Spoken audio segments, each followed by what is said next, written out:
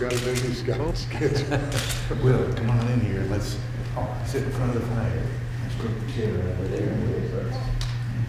Burn real well, don't you? Oh, you, you. Just thought I'd show you the day's paper. Hey, how are you?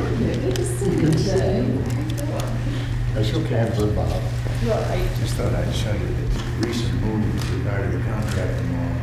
What you're doing is, and I call statesmanship. I think that's just great. Well, I certainly appreciate it, guys.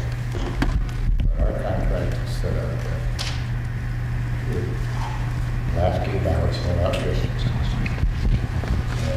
Yes. Passes over there.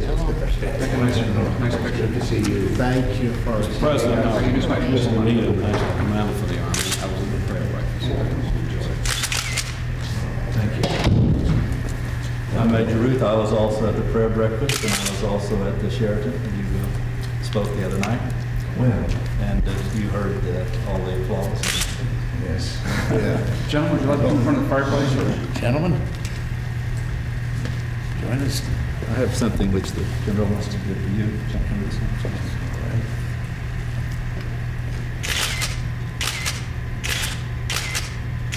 Thank you. Yep. I've been told it, and I, uh, I'm very proud of my American officers here, and do such an excellent job. Thanks after, after my title office as general.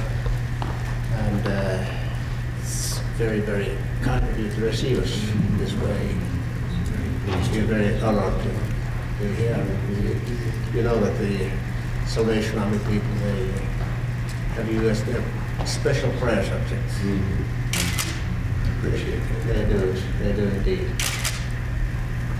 I, I just a general press report uh, to you as president that to some degree, we of feel that your program has done something to help us to do our job. I want to report to you that during Christmas, at a time when our people were fearful that uh, funds would not come in as abundantly as they have because of the economic situation, I've just been meeting with our Christmas conference all over the country, and the report is that something like twenty, there's been twenty percent increase in voluntary giving across the United States, which provides also twenty percent more of the things we do, and that's volunteerism in action.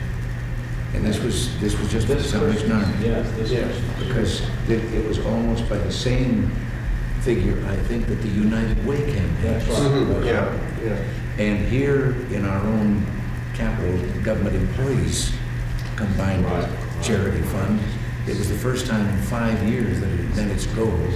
It was up a million and a quarter uh, dollars uh, over and above, and some departments, to this, uh, your emphasis on volunteerism that seems to be spreading, and I think there's going to be a response on the part of the people. We're finding that, which enables us to do our job better. well, I get, I get mail indicates to me that people, they almost, their letters are letters of gratitude, in that they, they, they have a tone of, they've just sort of forgotten that they were supposed to do things, that the government mm-hmm. was Yeah. Yeah. taking over so much, and that they're glad to be back doing it. One minister of the church in Detroit wrote me and told me about a CETA program, and in his letter, as I came to it, I, I misunderstood a little bit at the beginning. He was telling me it had to do, it was a children's program, community program, and about a hundred mothers, and I just kind of assumed church women, and so forth. And evidently that was lost out there at the local level, that program. But he said they met and the mothers just joined in and they took it over. Hmm. And then it was revealed these were not the church women. He said, and that the added plus was that these hundred mothers were now coming in and joining the church.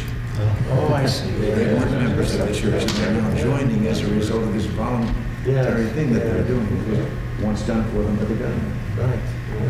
Uh, Mr. President, would you be kind enough to, to receive these little members of our, yeah, this is a, a book by Professor McKinley, who's a Salvation Army Mayor, in connection with the Salvation Army's uh, centenary back in 1980. And there's a little um, dedication to President Reagan in gratitude and commemoration of the visit observations to the White House on Thursday, February the 11th, 8 to Well, thank you very much. I'm delighted to have And, that. and good Salvation Army crest. And would you, would you kind, kind of,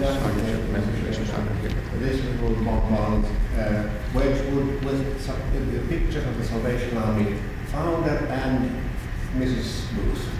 I would be very pleased to, and very And honored I'm to. reading to. Mrs. Reagan. I certainly shall, Mr. yes. President, thank you for your spiritual emphasis. It was very good. That's a whole lot of assistance. Thank you very much. But I have to tell you that I kind of. Salvation Army. March thirtieth. Yeah, that's Thank right. you. That's a good story. Well, may, Use that. may God bless you. Thank you. And upon you, and may you wisdom, both this, uh, as far as this country is concerned, and the works it carries. Thank you. Mr. President. I'll live here so I see you often.